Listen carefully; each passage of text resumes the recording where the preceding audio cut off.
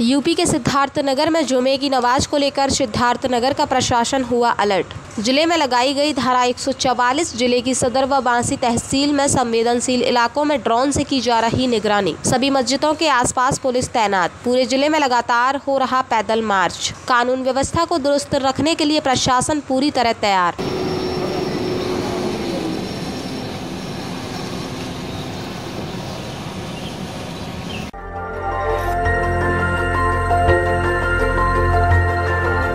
देखते रहिए डीवी भारती समाचार नज़र हर खबर पर।